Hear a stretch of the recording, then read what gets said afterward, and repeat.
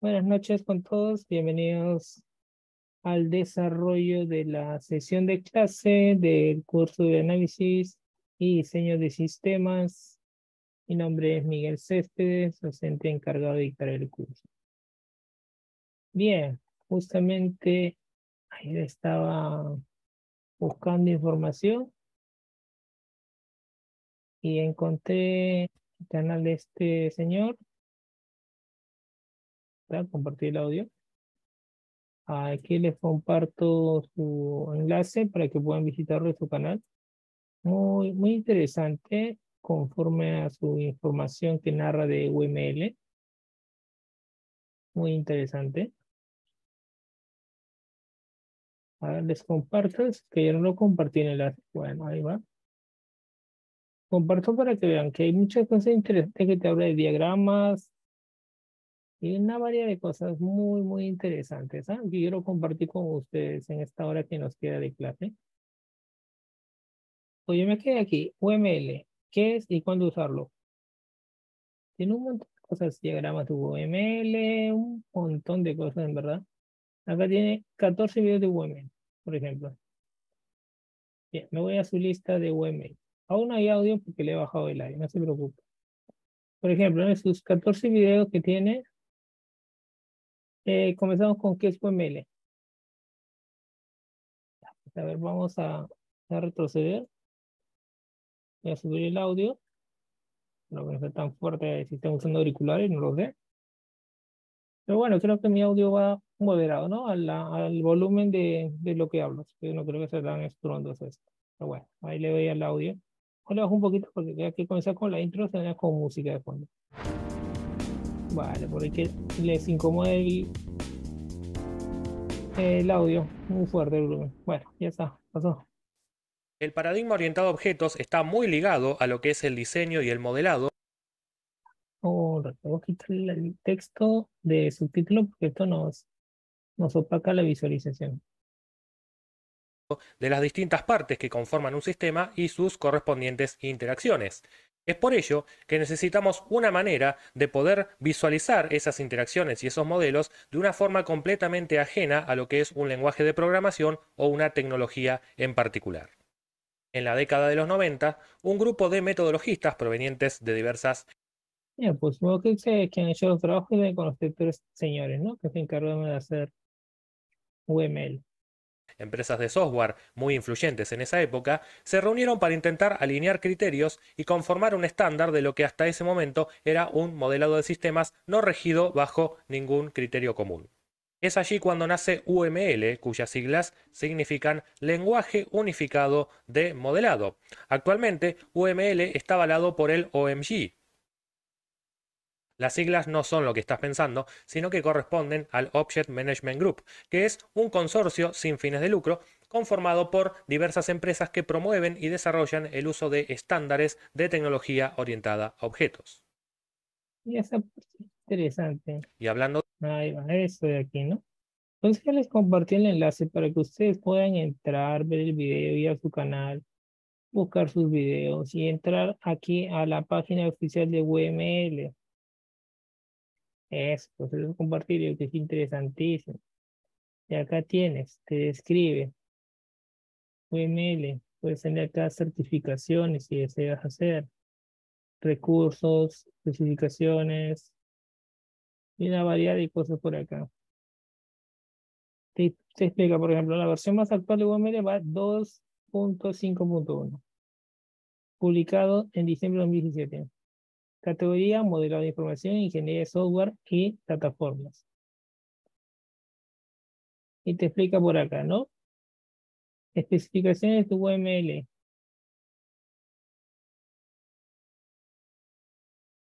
Y bueno, acá tienes una variedad de cosas que si quieres ampliar. Historia de las versiones. Por ejemplo, si tu curiosidad, profesor, ¿cuántas versiones de UML? 1, 2, 3, 4, 5, 6, 7, 8, 9, 10, 11. Por ejemplo. Enlaces para buscar mayor información. Acá tienes. Está en la página oficial de toda la información con respecto a web. ¿Quién te lo brinda? El enlace acá está. Lo puedes encontrar para poder ver lo que nos va justamente a narrar, nos va a comentar. Acá está bien baja la resolución. Le voy a subir un poco más. Y ahora sí está un poco mejor de estándar, la última versión que tenemos a disposición de UML, que data de diciembre de 2017, está aquí en la página del consorcio. Me olvidé de decir, acá hay un archivo, que yo lo descargué. Aquí hay constado un archivo que tiene especificaciones. Si le das clic a ese archivo, te lleva a un documento PDF que lo puedes cargar título de 796, a veces 800 hojas para que puedas eh, ver un poquito más a fondo lo que va UML, ¿no? Le quedó corto el curso y tiene mucha curiosidad de qué va UML, en qué va en estos días, pues acá tienes. El único detallito que está en inglés. Pero bueno, ahí tienes mucha data de ello. ¿Sí? Vale. Y tienes data, data, bastante data de ello para que te puedas informar de UML de qué va, ¿no?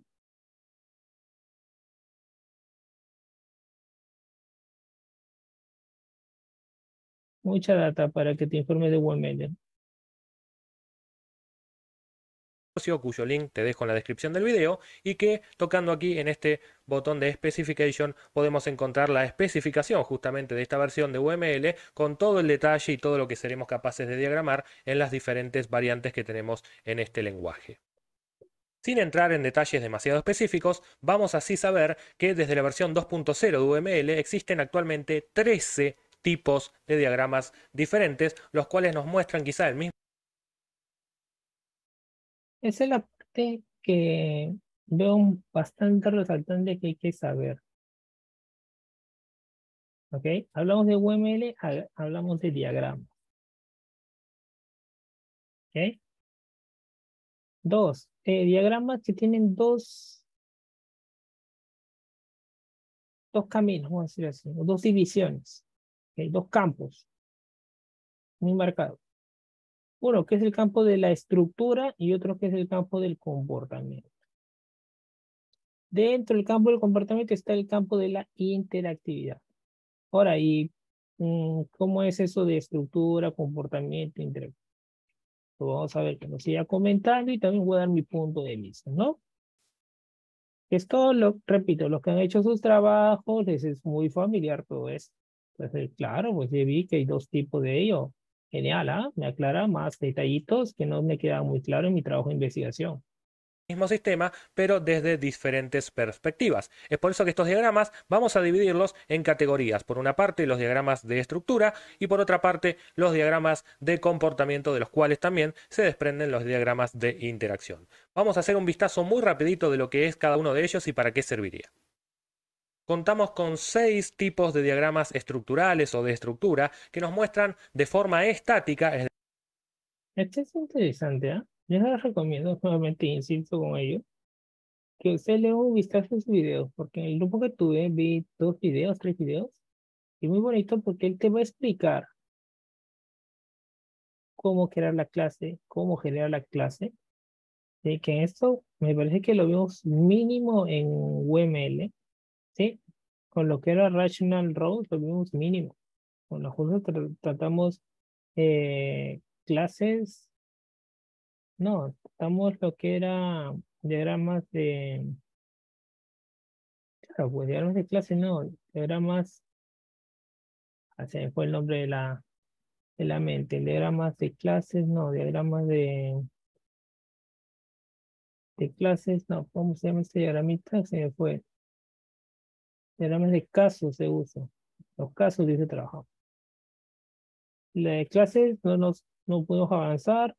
Vimos el, la instalación del proyecto. Hicimos la instalación del proyecto, creo, con ustedes. Vale, y ahí quedamos. Tampoco no pudimos avanzar en el proyecto. Pues la verdad que está apretadísimo el tiempo. Apretadísimo el tiempo. Pero bueno, al menos ya tienes una opción cómo instalar el proyecto.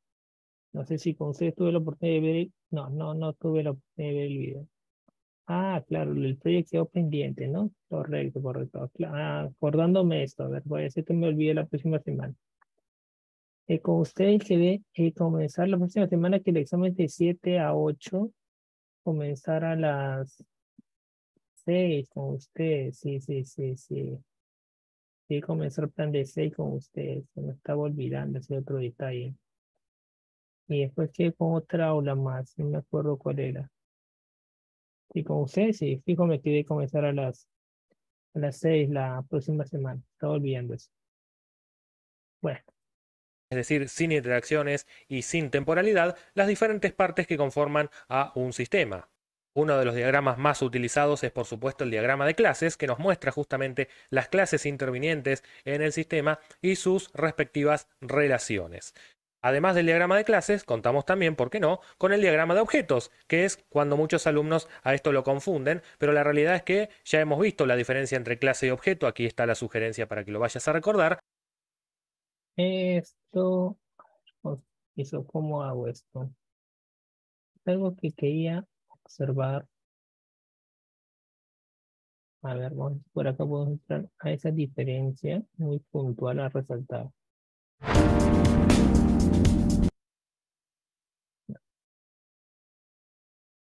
Y no, y no.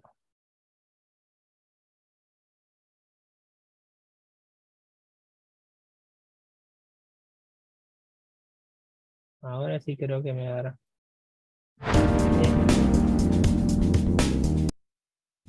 Ah, vale. A ver, vamos a, vamos a pausar un momento la explicación de los objetos que estaba haciendo para ver la diferencia puntual entre clases, ¿cierto? Que es brevísimo esto. Ya hemos dado una introducción al paradigma orientado a objetos y hemos definido cuáles son las características básicas que tienen todos los objetos. Este es otro punto interesante ver. Solo esto, una cadena de ese de punto a punto para entender mejor esto.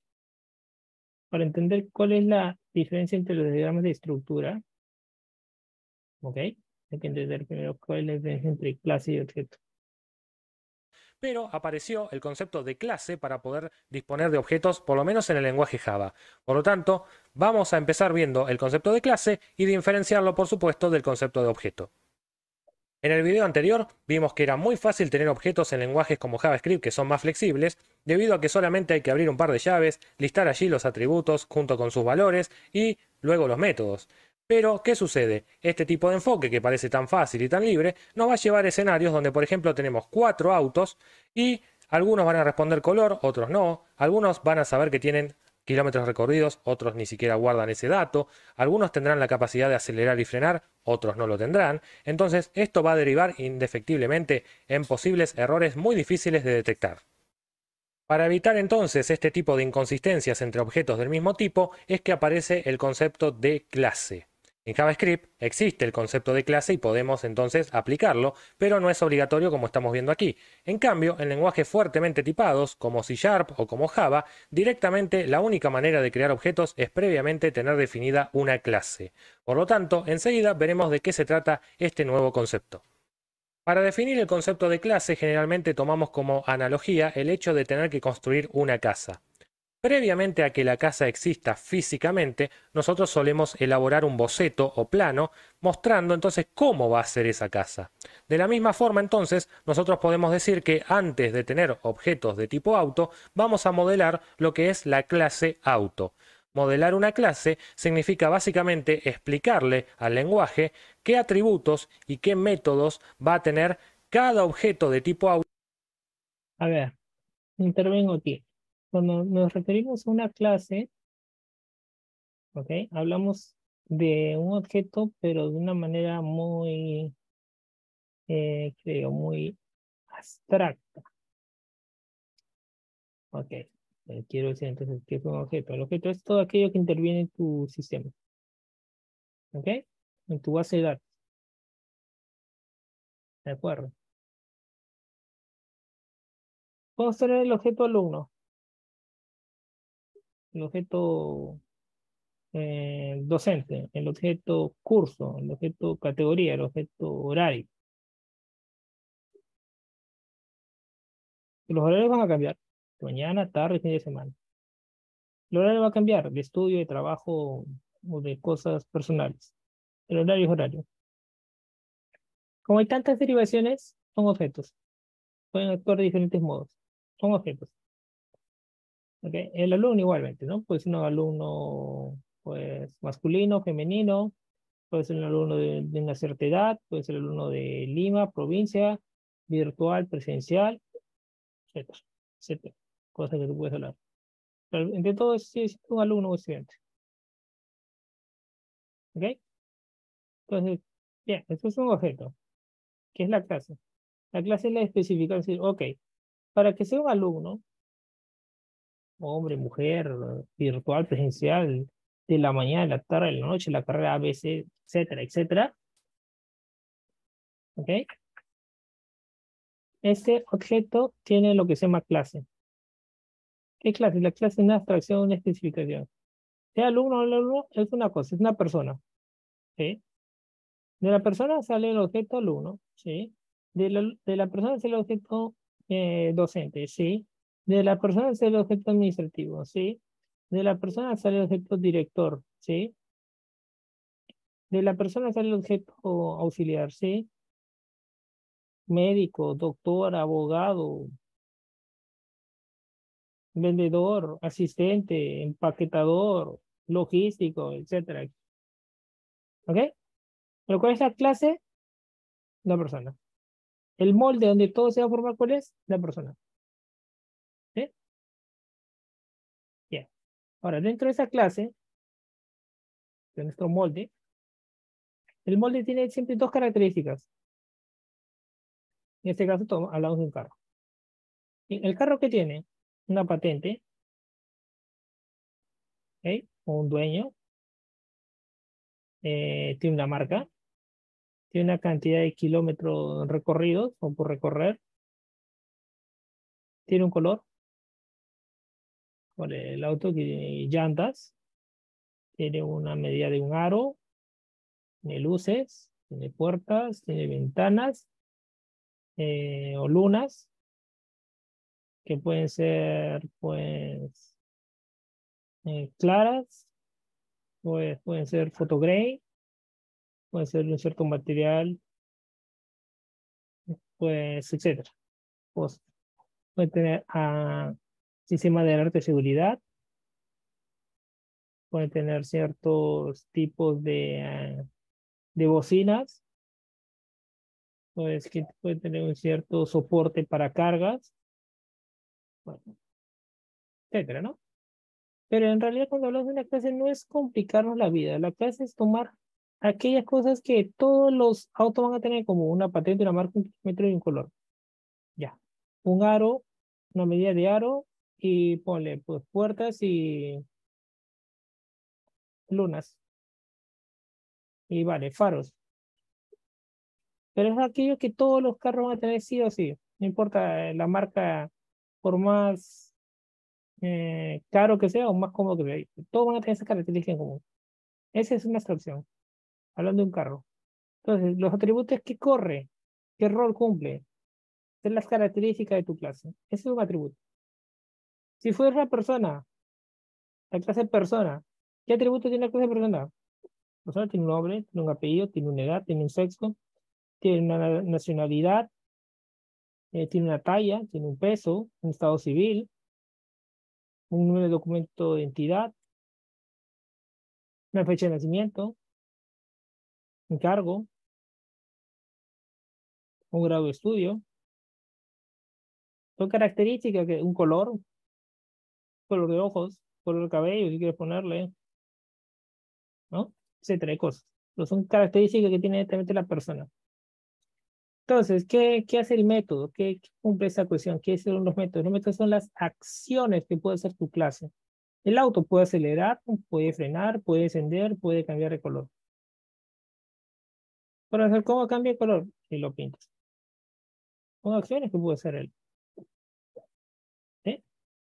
No sé, tal vez tenga como, tal vez tenga un carro ciertos efectos como tienen las en los ordenadores gamer, que pues tú cambias algo y da efecto de luminosidad y cambia otro tono de color. En fin. Son las acciones que puedo hacer. Eso va la pequeña opinión de mi parte de lo que es la clase. ¿Ok? Lo que es el atributo, que son características, y los métodos, las acciones. Ahora, vamos a seguir viendo para poder entender luego mejor a qué nos referimos cuando hablamos de objetos auto que en el futuro vaya a crearse. Esto quiere decir, básicamente explicarle al lenguaje qué atributos y qué métodos va a tener cada objeto de tipo auto que en el futuro vaya a crearse. Esto quiere decir entonces que crear una clase no significa estar creando un objeto, sino estar creando un molde o plantilla que nos va a permitir tener a futuro objetos, pero todos consistentes, es decir, todos con el mismo lote de atributos, aunque esos valores puedan variar, y todos con el mismo conjunto de comportamientos a través de sus métodos. Tomar en cuenta algo. Al haber definido... Tomar en cuenta algo. Objetos consistentes. Una clase asegura la creación de objetos con el mismo conjunto de atributos y métodos. Sí, todos tienen una característica en común. Por ejemplo, todos los carros tienen, pues, en este caso, una patente. Tienen una marca. Tienen un, una cantidad de kilómetros y un color, ¿no? Este, no estoy confundiendo con esta cuestión acá. Vale, patente, marca, kilómetro. La patente, la marca, el kilometraje, el color. Patente, marca, kilometraje, color. Patente, marca, kilometraje, color. ¿Sí? Entonces, tú vas a crear bajo este molde llamado clase todo aquello que tu sistema va a interactuar. Por ejemplo, ¿no? Si tienes la clase persona, ¿ok? De la clase persona vas a crear, pues, el objeto docente, que el cual vas a requerir, pues, el código de docente, en este caso, su nombre de docente, su apellido, docente, su edad, su sexo, su domicilio, su teléfono, su correo, su estado civil, pues, ¿qué tal? Su, grado de estudio, ponle. De ese molde persona tú puedes sacar para el estudiante y lo mismo, pero en este caso lo regularizas, simplemente lo adaptas a que sea el código del alumno, el nombre, el apellido, la edad, el sexo, la fecha de nacimiento, eh, su nivel de, de estudio, y pues, ¿qué más? Pues todo, todo aquello que tenga tu molde, ¿no? Que tú vas a poner. Ahora, si tú preguntas profesor, pero todo tiene que recibir únicamente molde, no necesariamente. No necesariamente. Puede ser que tú tu clase auto, profesor, pero estos son autos de, eh, ¿cómo le llamamos esto? A ver, autos para, para uso eh, pues, ¿cómo se llama esto? ¿Cómo, ¿Cómo llamaría este tipo de autos? A ver. A ver, para, para pasajeros, pues, para cuatro pasajeros, voy a llamarlo así. No tengo un nombre específico para ese tipo de carros. No, es lo mío. Tengo muy claro cómo definir ese tipo de carros. ¿Ok? ¿Ok? La movilidad particular, voy a llamarlo así. Porque tiene este estándar por el modelo que tiene. Un carro de 400 típico una cierta dimensión. Profesor, hay autos que son mucho más grandes que ya no se llaman autos, sino tiene algo mucho más, una proporción mucho más amplia de su estructura a partir de 400, que se denominan camionetas. Eh, se denominan ya Custer, porque cambia, ya la clase ya no sería únicamente un auto. ¿Sí? Tenemos a la clase de movilidad. Entonces, clase, nuestra clase esto convierte en una subclase. Dentro de nuestra clase de movilidad podemos tener hasta pues camiones, autos interprovinciales, etcétera, etcétera. Según los grados, niveles, las capacidades, proporciones y toda la cuestión, ¿no? Minivan, etcétera. esta clase llamada auto se convierte en una subclase. La clase principal, pues, medios de transporte terrestres, claro está. Ya, pues puedes poner el camión, puedes poner pues como una subclase también, pues, eh, ¿qué te digo acá? Pues, pues todo, todo lo que puede derivar de eso, ¿no? ¿De acuerdo? Es decir, acá una, una grúa para transportar carros, pues, es un medio que te sirve como auxiliar para los autos. Si queda varado el carro por ABC, y lo van a remolcar, Vale, también es parte, pero eso sería parte de otra subclase. Pues lo que ahorita es una clase, bueno, es clase. Cuando mucho más. Pero bueno, vamos con algo más ligero, que es solamente el auto. Definido por única vez la clase auto listando los atributos y los métodos que todo auto debería tener, entonces somos capaces de tener objetos autos tantos como queramos. 1, 2, 4, 10, 500, un millón. Lo importante es que todos los objetos van a tener entonces patente, marca, cantidad de kilómetros, color, y van a tener el mismo comportamiento en el sentido de que todos van a saber acelerar, frenar, encender, cambiar de color, porque fue lo que se dijo en la clase. Por ende, los objetos no solamente ahora podemos decir que son entidades que tienen estado, comportamiento e identidad, sino que podemos resumir que un objeto ahora es la instancia, la concreción de una clase. Si te gustó y te sirvió este video, entonces no olvides tomar en cuenta que lo que nosotros vemos en Erwin es una entidad. Entonces, lo que nosotros hubiéramos visto, pues no tiene tiempo para una clase, ¿ok? Dentro de UML, esa clase lo teníamos que poner ya como darle vida, ese molde, hacer un producto con lo que es Erwin. Ya, menos tener un poco mejor acá el panorama. Acá es genial, Él programa bastante en Java. Y de lo que programa en Java, él va a explicar justamente acá en el siguiente ejemplo, con lo que respecta a los diagramas. Va a tomar un código generado en Java y lo va a volver todo un diagrama. Ahora sí, pues, teniendo más claro, ¿no? ¿Qué son los objetos? A ver, vamos a retomar por acá. Ya tenemos un poco más claro el panorama con respecto a esto de clases que nos muestra justamente las clases intervinientes en el sistema y sus respectivas relaciones. Además del diagrama de clases, contamos también, ¿por qué no?, con el diagrama de objetos, que es cuando muchos alumnos a esto lo confunden, pero la realidad es que ya hemos visto la diferencia entre clase y objeto, aquí está la sugerencia para que lo vayan. La clase es nuestra plantilla, nuestro modelo. El objeto no es más ni menos que la puesta en práctica de lo que tenemos en la clase. La aplicación de una clase. ¿Ok?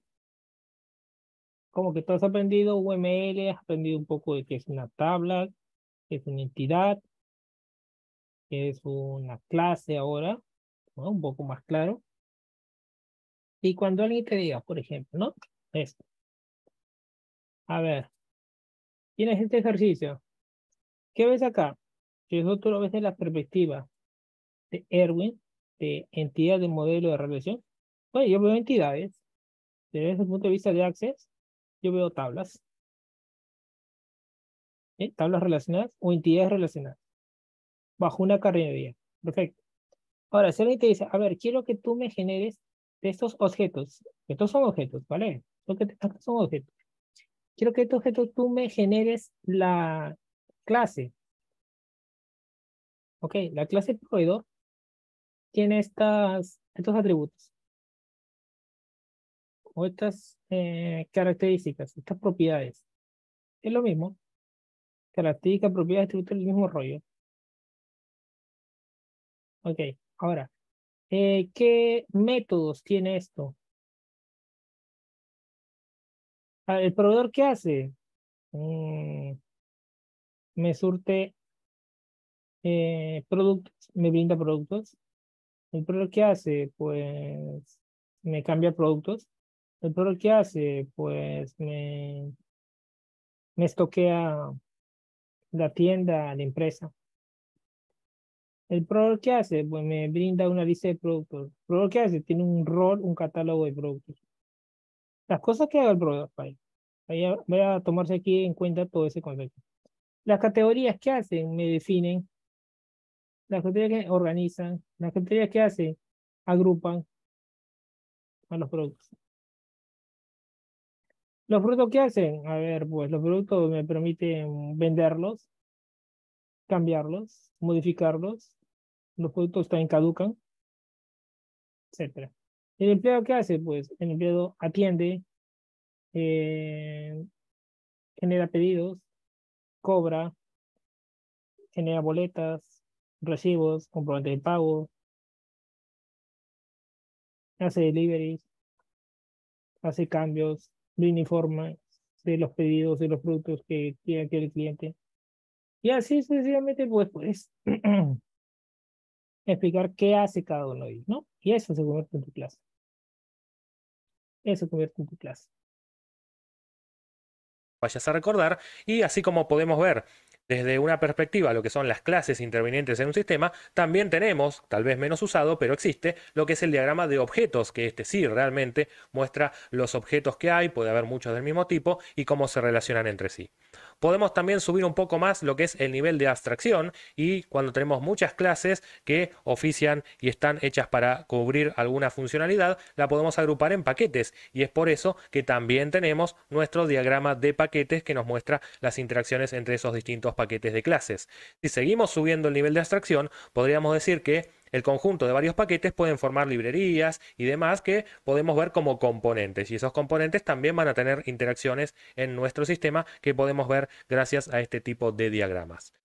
Nos quedan dos, que son el diagrama de despliegue, que este ya implica saber cómo va a ser el sistema en producción, implica también hablar de hardware y de cuestiones físicamente hablando más allá del software. Y por último, de estructura compuesta, que nos permite meternos dentro de lo que es una clase y ver cómo está hecha por dentro, su estructura interna y sus respectivas colaboraciones. Los diagramas de comportamiento nos van a permitir observar eso mismo de las diferentes partes del sistema. Tenemos el diagrama de casos de uso que nos muestra a los diferentes actores y partes del sistema y cómo interviene cada uno de ellos.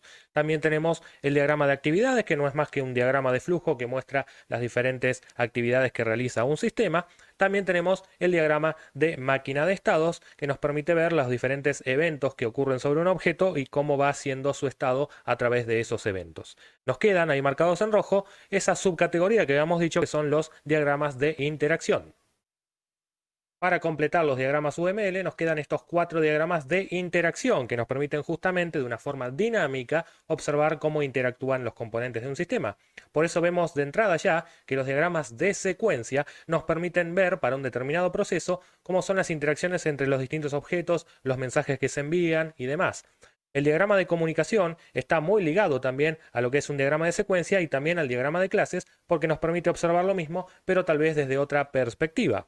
También tenemos el diagrama de tiempos, que nos permite ver algo muy parecido a lo que veíamos en el diagrama de máquinas de estado, pero esta vez representando cuáles son los distintos estados a lo largo del ciclo de vida de cada uno de los componentes. Y por último, tenemos el diagrama global de interacciones, que es como una especie de main, si lo llevamos a la programación, porque cuando tenemos programas y sistemas muy, pero muy grandes, tal vez nos cuesta ver todo ese diagrama gigantesco y nos permitiríamos entonces modularizar y tal vez separar en subdiagramas lo que serían distintas partes, distintas interacciones y con el diagrama global de interacciones podemos ver eso a alto nivel como el primer vistazo a eso y después irnos por cada uno de esos subdiagramas a verlos un poco más en detalle.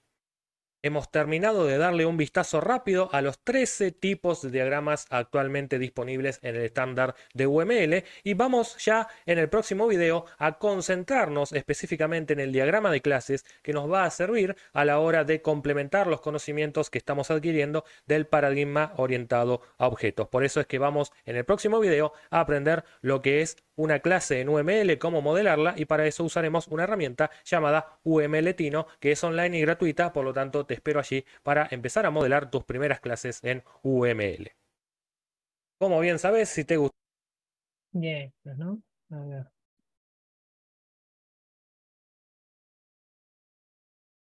Vamos por acá a ver. Primer diagrama de clase. Google y colocar UMLetino de esta manera.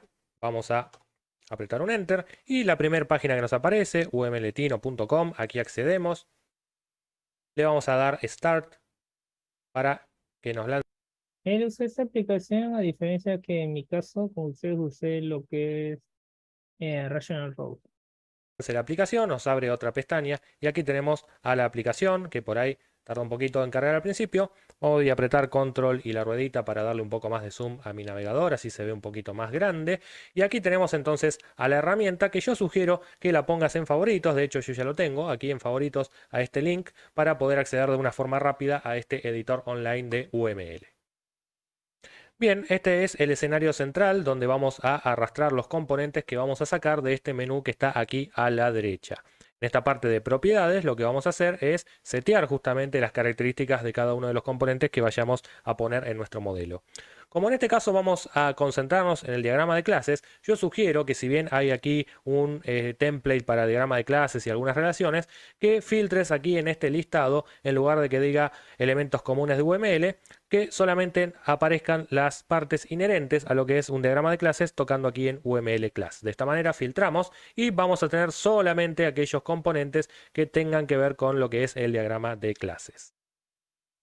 Bien, lo que vamos a hacer es tener nuestra primera clase en el escenario que en este momento está vacío. Lo que podemos hacer es hacerle un doble clic a esta especie de template que nos permite poner una clase. Le hacemos doble clic y ya aparece en el escenario. Otra forma es arrastrar y soltarlo, pero no me gusta mucho cómo queda este layout porque parece que desaparece del menú. Entonces me gusta más hacerle doble clic a las cosas eh, y aquí tenemos entonces esta clase que, bueno, arrastrando y soltando muy intuitivamente podemos desperdigar por el escenario.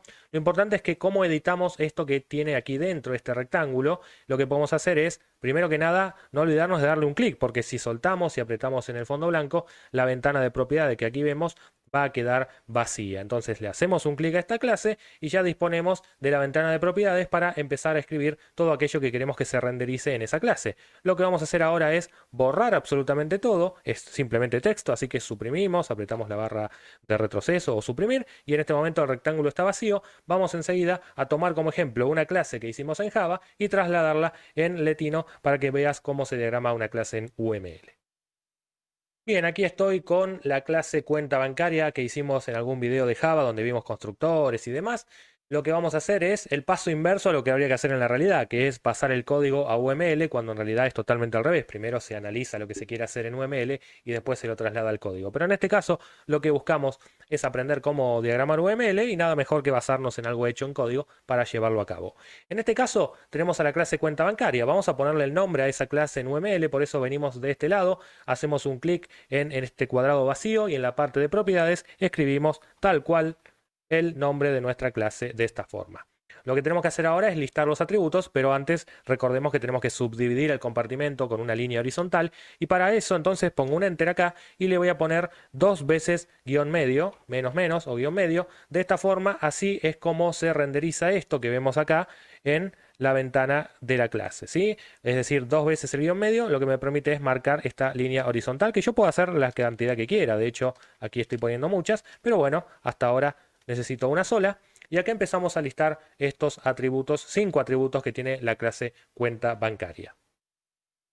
Como vimos en el video anterior, la sintaxis es la estándar de UML, que es poner primero el nombre del atributo, seguido del dos puntos y el tipo de dato. Por eso que estoy poniendo CBU de tipo string. Ah, pero recordemos que es privado, así que le anteponemos el menos, indicando que va a ser privado. Seguimos ahora con también el menos, alias, de tipo string también.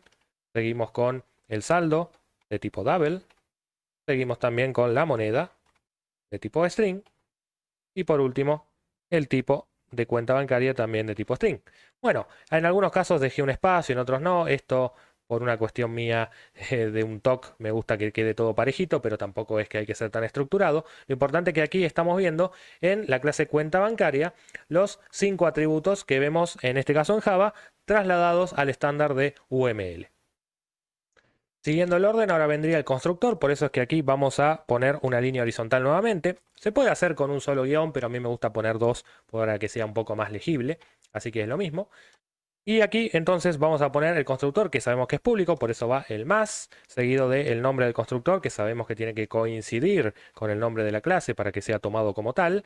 Y acto seguido, eh, entre los paréntesis vamos a poner lo que es el listado de parámetros que recibe ese constructor, pero solamente los tipos de datos. Como vemos acá, son tres strings, no me importan los nombres ni nada, simplemente escribo, separado por coma por supuesto, lo que sería cada uno de esos parámetros que recibe el constructor. Si ven que se quedan sin espacio, siempre pueden estirar un poco esta cajita, este rectángulo, como en cualquier programa de diseño. Vamos a ver cómo se diagraman algunos métodos. En este caso tenemos el generar CBU, que es un método privado, por eso pongo el menos, generar CBU, de esta manera. Como no recibe parámetros, los paréntesis son obligatorios, pero quedan vacíos. Y devuelve un string, por lo tanto dos puntos y string es el tipo de retorno. Seguimos ahora con el mostrar datos, que es público, por eso pongo el más, mostrar datos. Eh, no recibe parámetros, dejo los paréntesis vacíos y tampoco devuelve nada, pero de todas maneras tenemos que poner algo que es void. En el caso particular del constructor, como ya sabemos, que hemos visto en el video de constructores, no tienen tipo de retorno, por eso no se les pone nada, pero a todos los demás métodos sí. De esta forma hacemos uno más, que es el setAlias, que es un método público entonces, llamado alias, setAlias, perdón, recibe como parámetro un string y devuelve void como buen setter que es. Bien, de esta forma entonces tenemos la clase cuenta bancaria que faltará hacer algunas cosas más, dejamos los puntos suspensivos allí, pero es suficiente creo yo haber visto esto para saber cómo diagramar una clase usando este software. Para terminar, veamos cómo poder guardar nuestro trabajo, recuperarlo después y demás. Bien, en particular lo que vamos a hacer para exportar esto a un archivo es tocar en esta opción que es File Export. No toquen el otro porque está ligado a lo que es Dropbox y eso implica tener una cuenta y bueno, guardarlo en la nube. En este caso queremos guardarlo en nuestra computadora, así que hacemos clic aquí en File Export, le ponemos un nombre que por defecto está vacío, pero yo ya le tenía seteado aquí mi primer diagrama, pueden usar el nombre que más les guste. Y aquí tenemos dos opciones. Podemos hacer uso de guardar como archivo de imagen. En este caso lo que nos genera es una imagen que se guarda en la carpeta de descargas, que yo lo tengo en escritorio, pero en la que tenga que ser de su navegador. Aquí tenemos entonces nuestro diagrama que consta hasta ahora de una sola clase, pero como imagen PNG. Y si no, también lo que podemos hacer es exportar esto como archivo de diagrama, que genera un archivo cuya extensión, como se ve aquí, es UXF. Y alguien se preguntará, bueno, ¿cómo abro archivos de ese tipo? Justamente son archivos de UML letino, por lo tanto cuando ustedes lo bajen, quizá Windows no lo reconozca como un programa que tengan instalado en su computadora porque estamos usando el editor online. Por eso es que no se preocupen si el icono que ven es una hoja en blanco o parece un TXT, algo de blog de notas, porque simplemente esto para recuperarlo lo que podemos hacer ahora es apretar F5 o actualizar la página para que de esta forma perdamos todo y tenemos una versión del editor en blanco completamente. Y si queremos recuperar nuestro trabajo, hacemos el paso inverso, que es poner File Import e ir a buscar el archivo, en este caso UXF, que tenemos aquí. No puede abrir otra cosa, es decir, si queremos abrirlo como imagen, me va a decir que no puede convertirlo a un XML, que es el lenguaje que realmente usa detrás para diagramar esto. Entonces, en File Import vamos a hacer uso de este archivito UXF, que es justamente algo que sí reconoce el letino, y aquí volvemos a recuperar nuestro trabajo. Habiendo ya aprendido lo que es el diagrama de clases UML y cómo representar clases usando este software UML Tino online, entonces ya estamos listos para... A ver, vamos a ver cuánto dura este siguiente video. Uh, nos da hasta 10 minutos.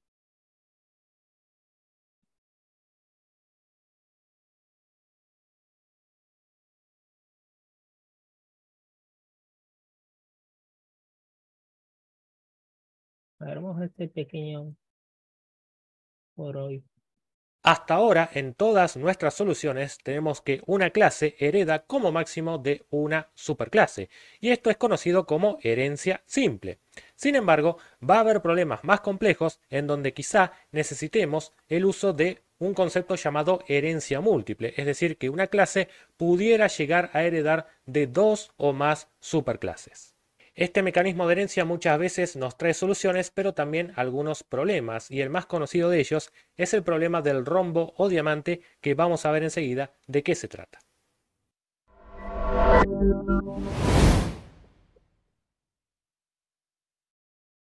Vamos a observar este diagrama UML que ejemplifica justamente un tipo de herencia múltiple. Acá tenemos a la clase persona Todas las personas tendrían un nombre según este modelo y tienen la capacidad de realizar una tarea. Ahora bien, existen dos tipos de personas, por ejemplo, en este modelo, los empleados y los estudiantes, que justamente redefinen ese comportamiento, lo sobrescriben, porque no es lo mismo realizar una tarea siendo empleado que realizar una tarea siendo estudiante, aunque ambos, claro, realizan tareas. Ahora bien, como muchas veces no sucede en la vida real, nosotros mientras trabajamos también estudiamos o viceversa, mientras estudiamos también trabajamos. Entonces, esto da la aparición de una clase que pueda extender tanto a empleado como a estudiante, es decir, un empleado estudiante es tanto un empleado como un estudiante y por lo tanto se podría ver de las dos formas. Sin embargo, en este caso muy particular, observamos que nosotros deberíamos heredar los métodos públicos de nuestras respectivas superclases. Y acá es donde se genera un problema conocido justamente como el problema del rombo diamante, que es este caso es ambiguo.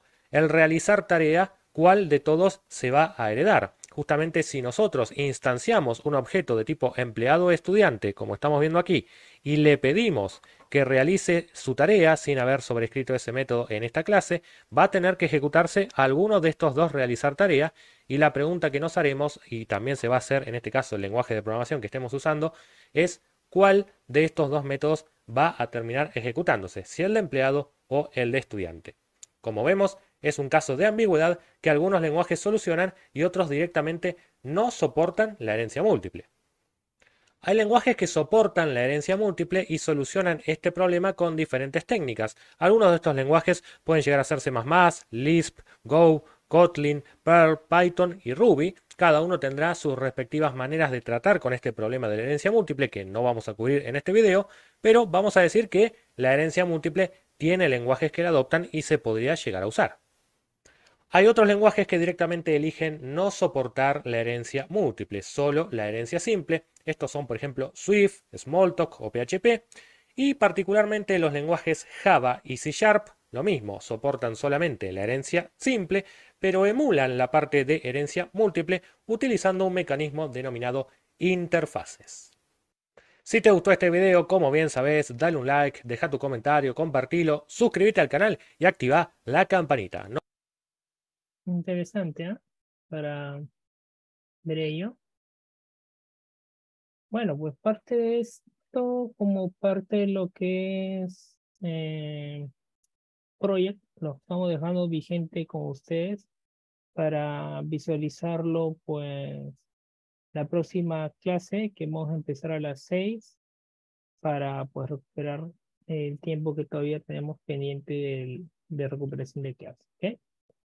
Bueno, pues hasta aquí con mi persona el día de hoy, con el desarrollo de su sesión de clases. Gracias a todos, buen inicio de semana.